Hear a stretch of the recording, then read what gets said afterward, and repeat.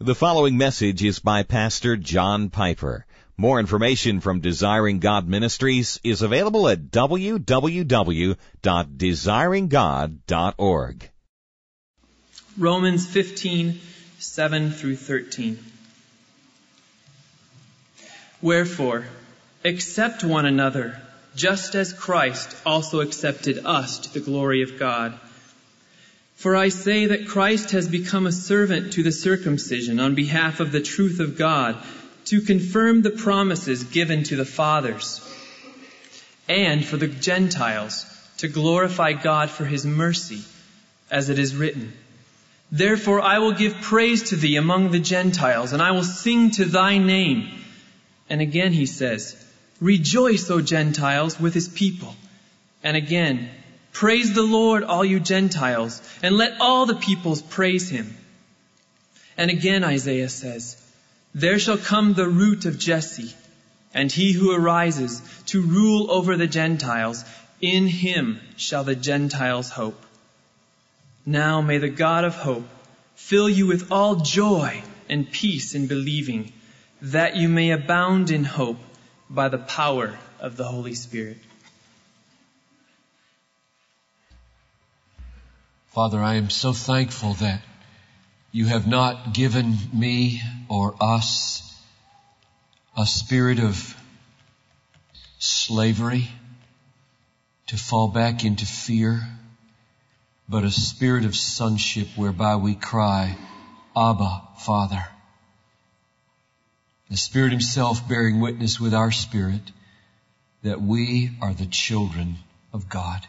How could I dare to stand here if that spirit didn't witness with my spirit that you were my father and that you would help me. I pray that that would be the experience now of every person in this room, that they would know by the power of the Holy Spirit through Jesus Christ and faith in Him that you are their Father. If any is not, Grant, I pray that this service would be a means to the quickening of faith in Christ. And would you be pleased to adopt more children even this morning? Help me, Father, please, to speak this text with truth and with affections that are fitting the nature of the truth and with an anointing and a fruitfulness that produces change in our church and in our lives so that the city feels the force of love in Christ and for Christ and that the nations are reached, churches are planted, and worship ascends. Through Jesus Christ we pray. Amen. Now, in about a week and a half, on Wednesday week, we will be calling all of you to, if you're part of Bethlehem, to a vote on a vision called Education for Exultation. Uh, and, a, and a piece of it will be a, an 8.5 million dollar building program to replace that old sanctuary over there and piece of it will be a, a crazy, radical, debt-free funding proposal. A piece of it will be growing without growing that will require a kind of mindset change for many of us for the next 10 years or so. And uh, we want you to say yes to it before we go for it. And that's why all this three ring binder and focus groups and mailings and my job has been mainly to put biblical foundations under it on Sunday morning by preaching first on education for exaltation in God. Secondly, in Christ, the Son of God. Thirdly, in the cross of Christ. Then in faith in the cross of Christ and then in the Word that sustains the faith in Christ who is the Son of God, and along the way to lift up a visual reminder of what growing without growing will mean in sending away Rick Gamache and Randy Westland and their families and summoning as many of you as would be willing to go with them to Grace Church Richfield. And we will send them away in two weeks. That's my job is to put a, a biblical foundation under all those parts of the vision. And so today we come to another crucial piece of it, namely education for exaltation among the nations. And in a nutshell, the point is this. The building, the children, the curriculum, the debt-free funding vision, the growing without growing by another kind of incubator service in that big multi-purpose thing that will be out there on the parking lot someday. The point of all of that is education for exaltation, not just our exaltation, but the exaltation among the nations. You see that mission statement up there on the wall? Spreading a passion for the supremacy of God in all things for the joy of all peoples. All we're doing is paraphrasing that with a catchy phrase. Education for joy among the nations, for exultation among the nations. So that's the theme this morning. Bethlehem has been now for 129 years, a church radically devoted to mobilizing missions. I don't know the pre-1890 Bethlehem very well, but beginning with 1890, I know the stories.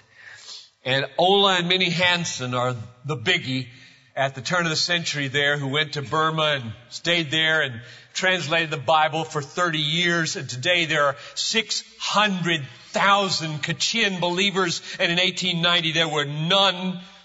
And they came to our church to thank us back in 1990 at their 100th anniversary. They were seeking out the mother church and most of us didn't even know this story existed. So we know that for a hundred years, God has been doing it through this church to mobilize missions. I just have to stop and tell you the, the emotional effect it had on me in the first service. A little teeny thing. I don't know why things happen like this. I opened up this, getting ready to worship through it, and it said there at the prayer of praise for the nations, Dan Porch, missionary. And I just was flooded. That is a great title. That is a great title. Dan Porch, missionary. I just hope that that hits you like it hits me because ambassador for King Jesus among an unreached people group. Go declare the amnesty, Dan. Go tell them if they lay down their arms of unbelief and swear fealty to King Jesus, they live forever, Dan. Missionary. What a great title. And what a great prayer he prayed to catch us up into God's presence today. So, it's been a great church for 130 years of missionary mobilization. We are a people who believe that if a people doesn't know the name of Jesus Christ and put their faith in Him as Savior and Lord, they are lost and will be sentenced to everlasting judgment. We're a people who believe that God means to gather worshipers for himself among all the peoples and tribes and nations everywhere in the world. And therefore, we're a people who care about statistics like these.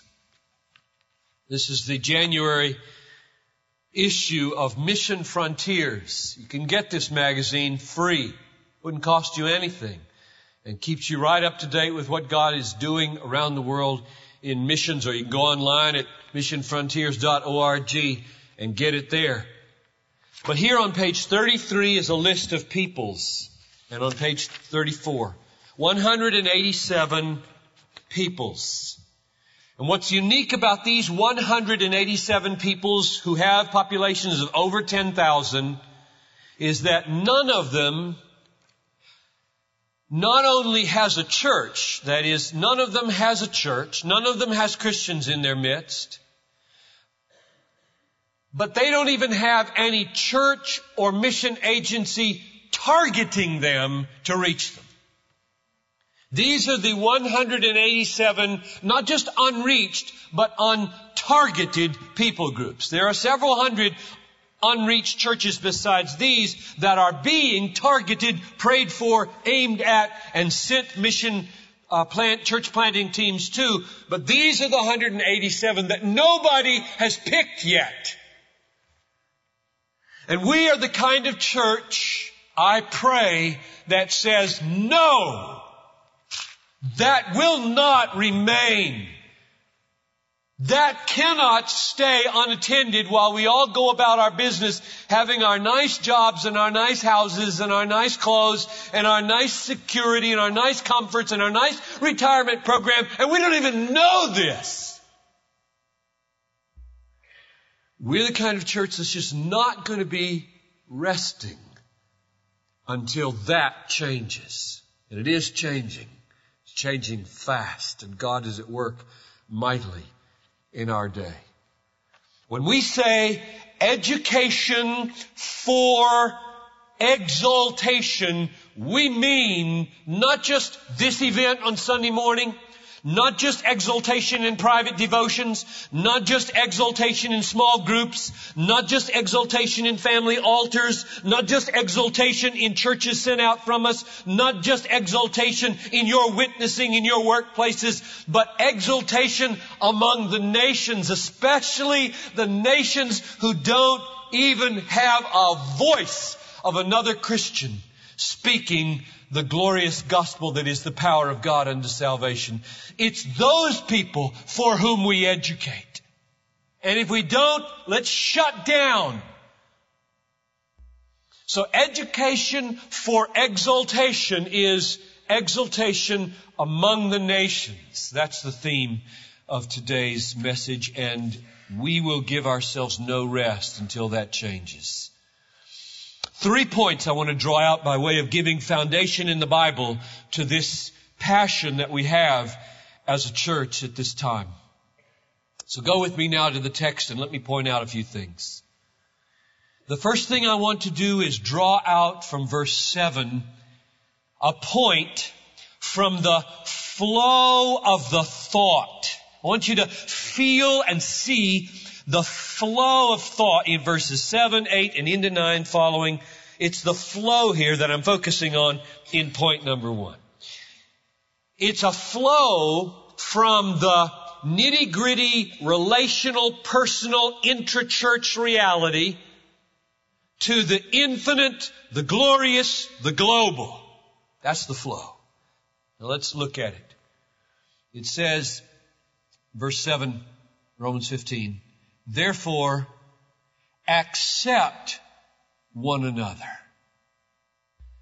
Now just stop there and let that penetrate.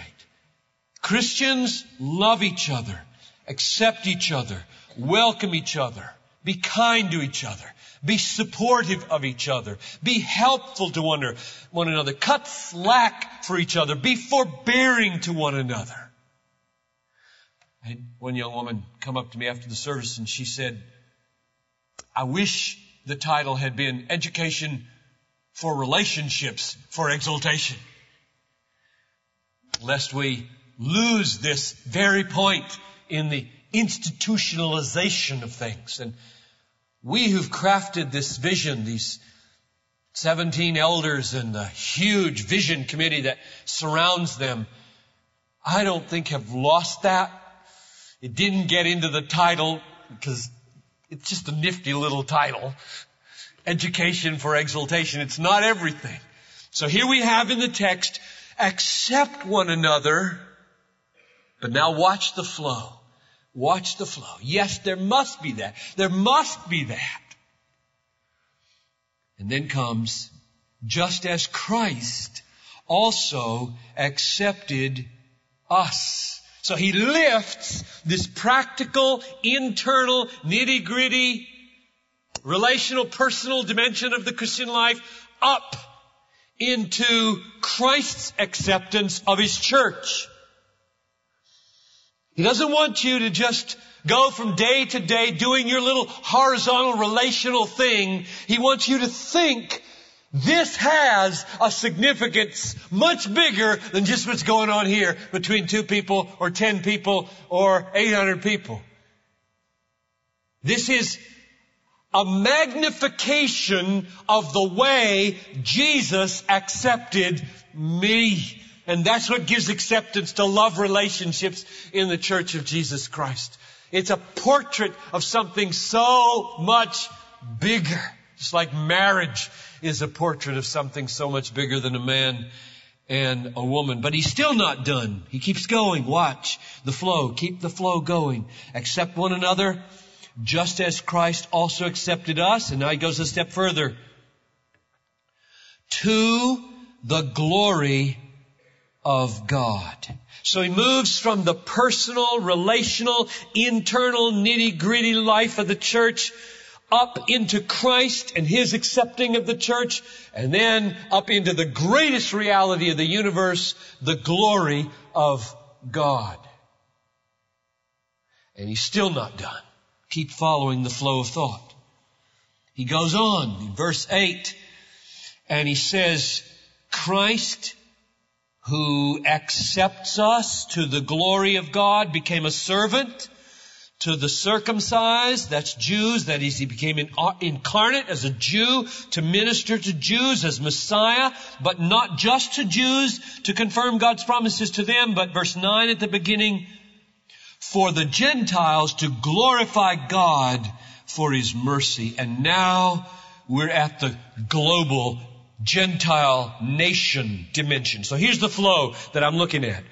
Internal, relational, personal, church reality, caught up into Christ, caught up into the glory of God, extended to the nations.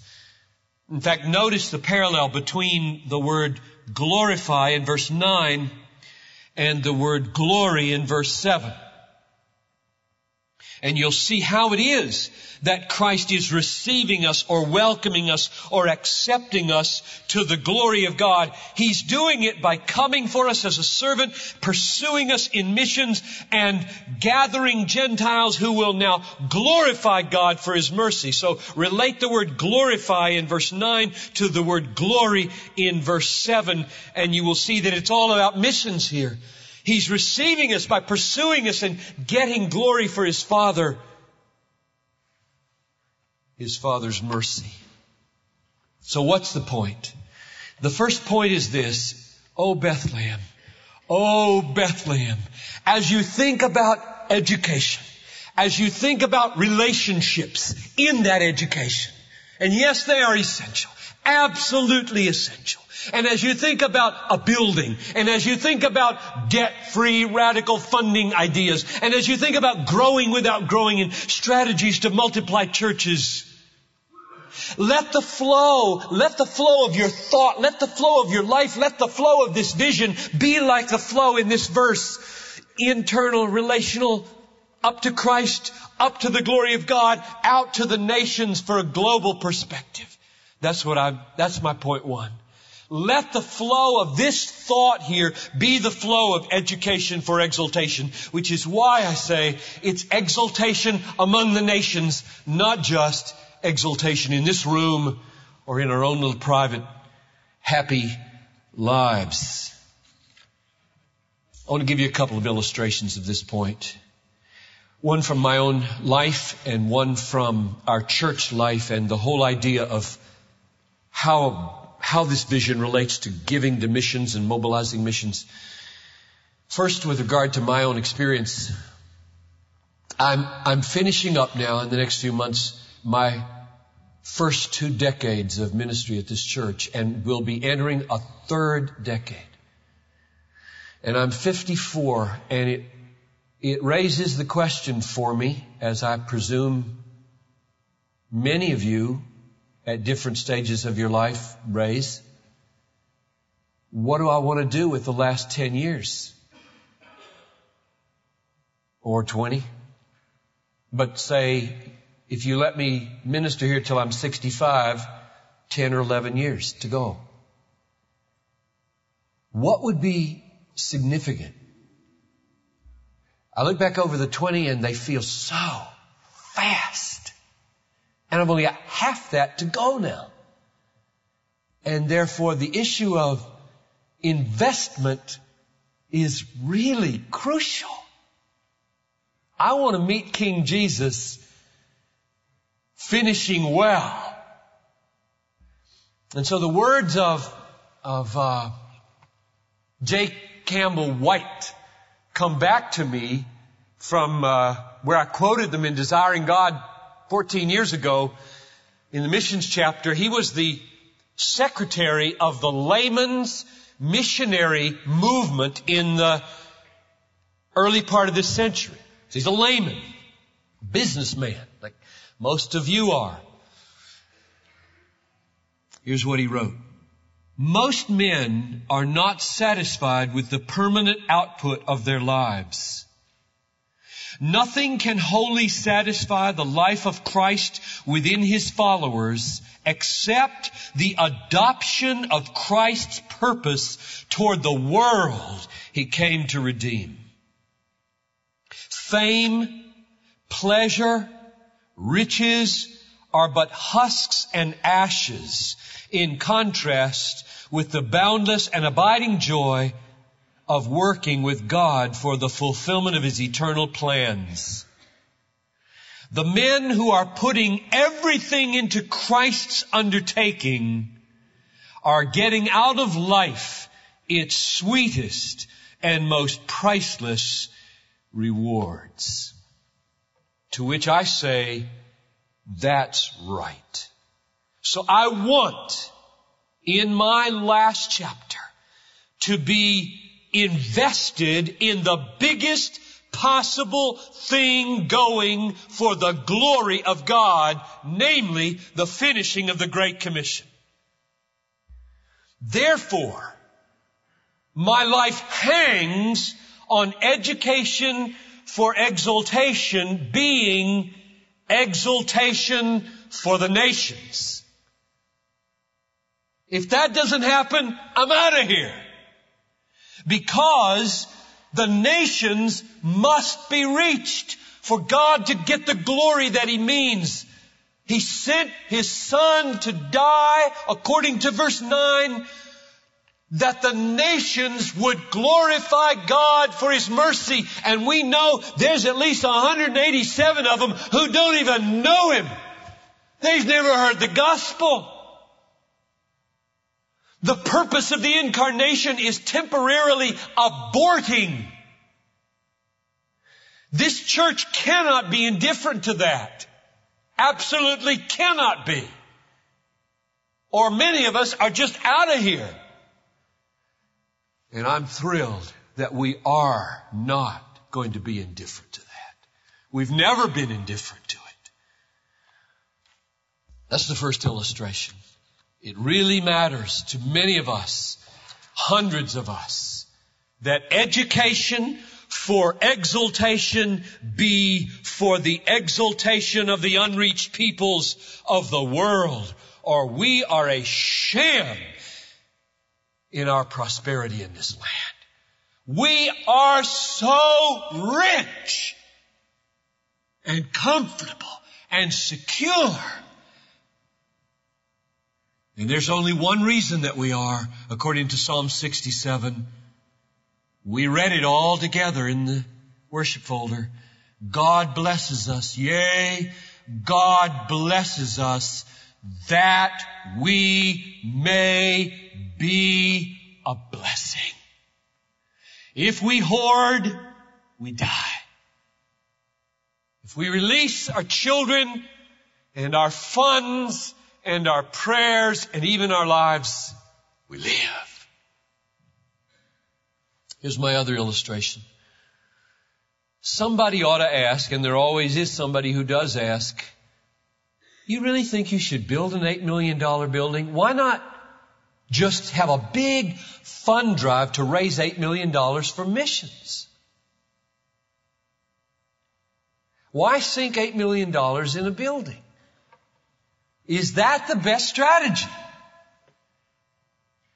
And you know what? I don't know if that's the best strategy. But I am not going to be paralyzed by the inability to discern an A plus plan when we have a B plus plan that is prayer saturated and God besotted and has proven to work in the past. Let me explain what I mean. I took myself back yesterday to 1987. Difficult wrestling days, three services. We've been into three services for five years in that old sanctuary.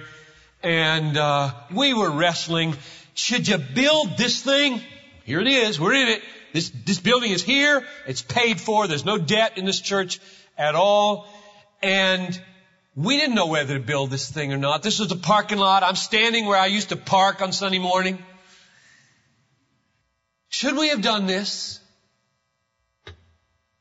Should we have done this? Or should we have, this building plus the building we bought down the street, the Masterworks building, cost $3.8 million in 1991 when we finally bought it. I mean, moved into it. $3.8 million for the Masterworks and this building in 1991. Was that a good idea? Maybe. Maybe. To, to to try to find out whether it was a workable and helpful idea given this passion, I went back and I took every one of the annual reports for the last 13 years, from 87 to today, and I simply tabulated all the mission giving in those 13 years. And it came to $6.6 million. Now, that's not all the mission giving that's gone through this church. Not by a long shot. Paul Johnson, our financial secretary, produces a list at the end of the year of all the money that has gone around the budget into mission coffers in this church. I would guess, I have no idea what that would be, but a lot more. So, I say to myself, okay, I don't know if this is the best plan. I'm not into A plus as the only option in life. I have for now 20 years sat through so many staff meetings and so many committee meetings and so many council meetings where we are paralyzed by our inability to discern the A plus plan when in fact there's a good solid B plus plan on the table that I simply don't worry about it anymore. And the main reason theologically I don't is because of the cross of Jesus Christ. If I didn't have the cross to cover my B minuses and C minuses and D plus life, what would I do? And so I gotta get out of this head the thought that we produce A plus plans, lay them before Jesus, and he says, whoa, that's good enough. I'm gonna have to do something about that. I'll get on board with that. That is not the way I think. You know what I think?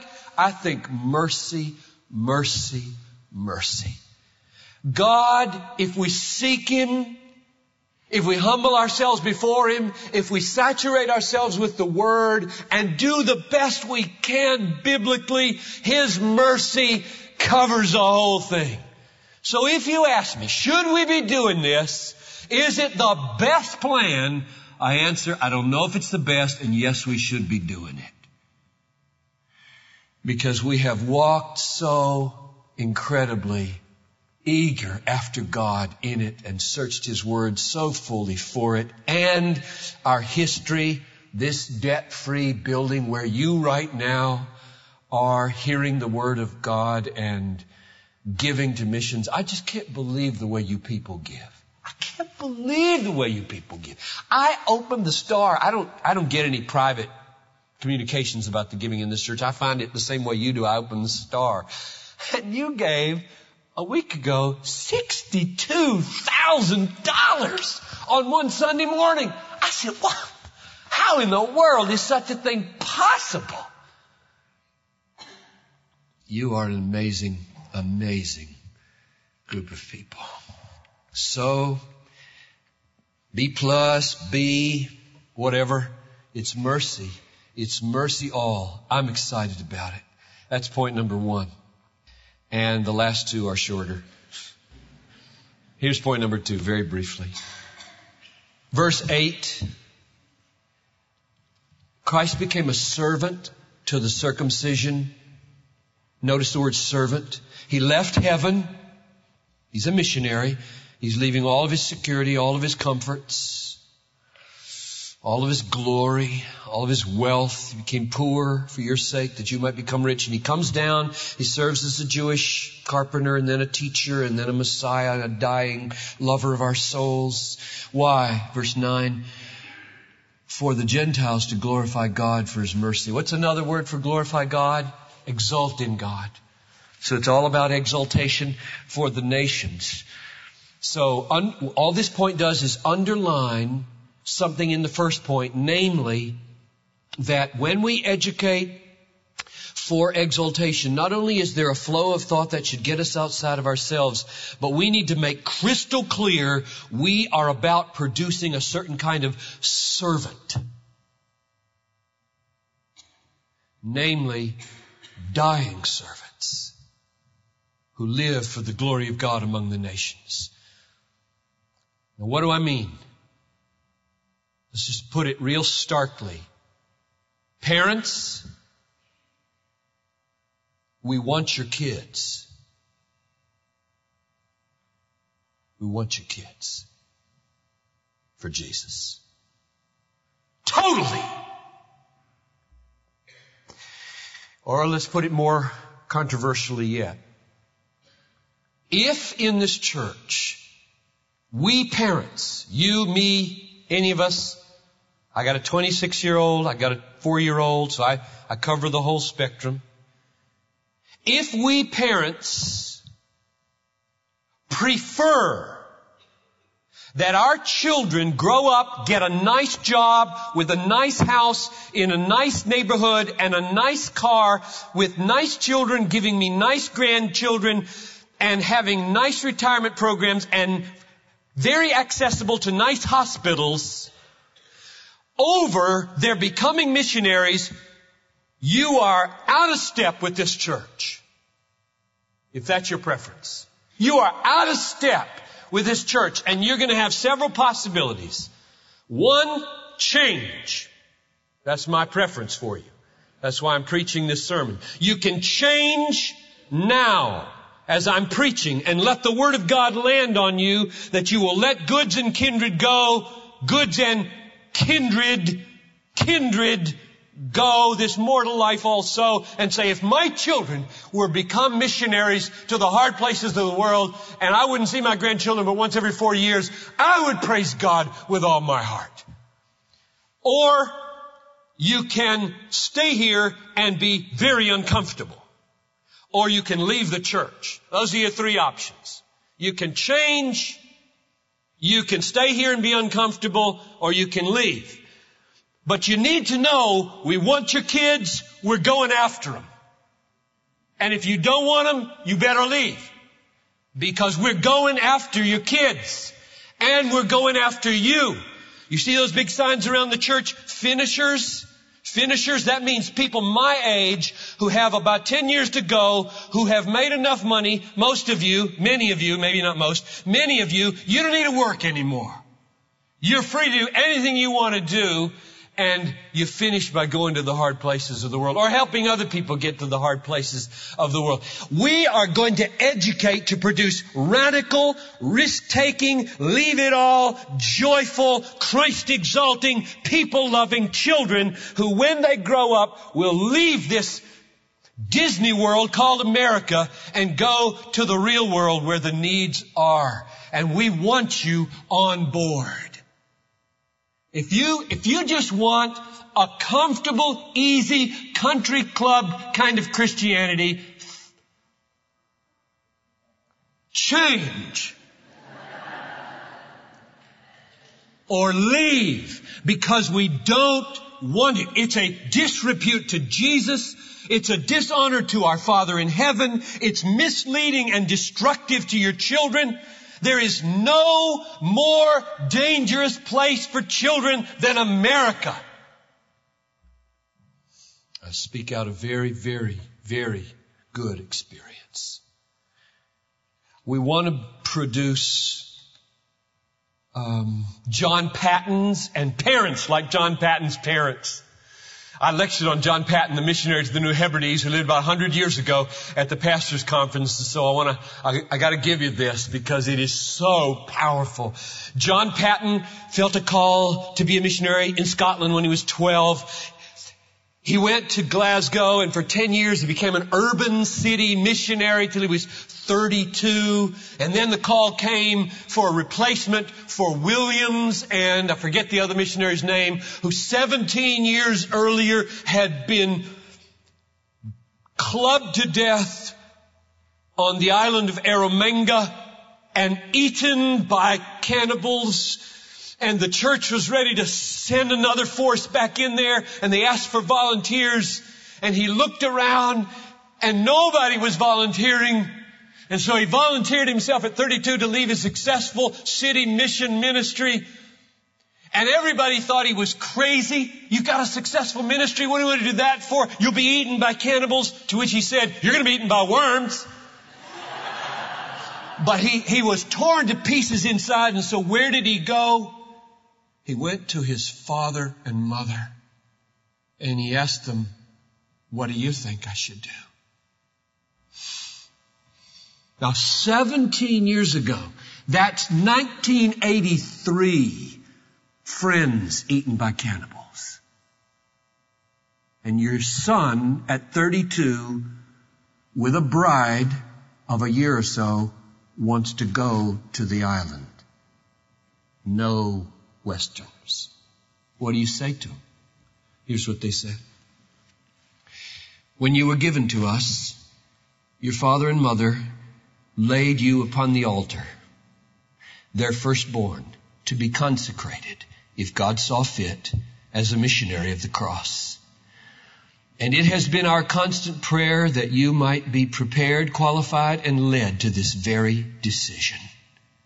And we pray with all our heart that the Lord may accept your offering, long spare you, and give you many souls from the heathen world for your hire. That's the kind of parent we want to breed, and that's the kind of child we want to breed. When we say education for exultation, we mean become servants, love people, lay down your life, give up your kindred, Give up your house. Give up your securities. Go far away from hospitals, far away from 911, into malaria infested places, and risk it all in order that verse 9 would come true. The nations would glorify God for His mercy. So that's my second point, and the last one is just a, a word, just an exhortation. How are you going to get that strength, parents? Some of you are feeling real put on the spot right now because it isn't in you. I had young, one young woman come up to me. She said, thank you for the reaffirmation. They just made the decision last week to do a mission thing for a year.